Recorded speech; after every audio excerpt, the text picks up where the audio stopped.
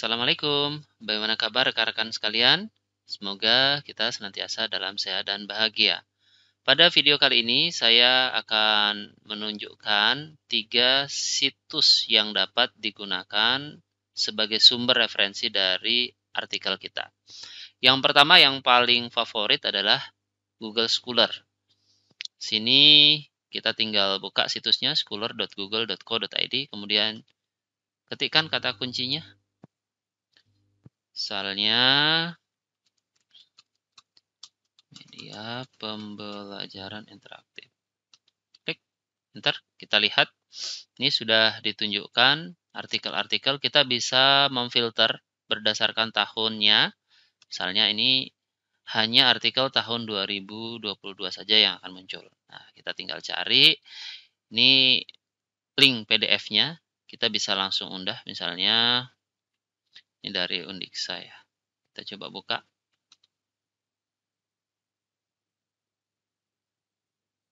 Berhasil, kita cari yang lain.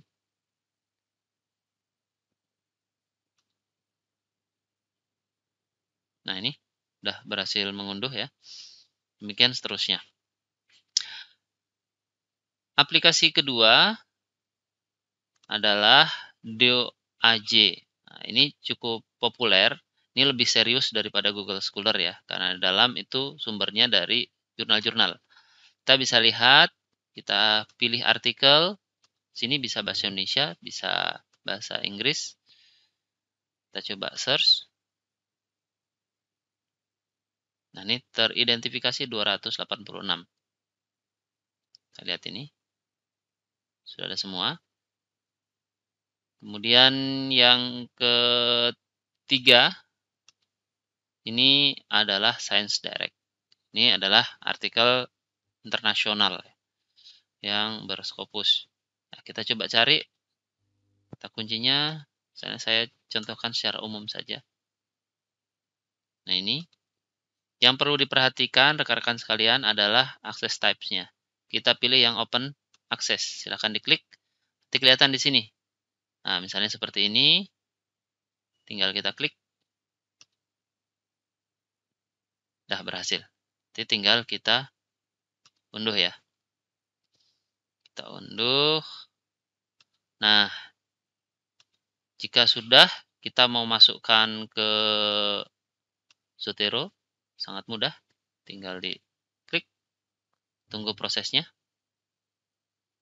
Ini berlaku semua artikel yang telah kita dapat ya. Atau kita mau cara yang lebih mudah lagi. Dengan cara klik integrasi Zotero. Kita klik, kita tinggal pilih mana. Misalnya ini, ini, kemudian ini. Kita klik OK, maka proses akan selesai.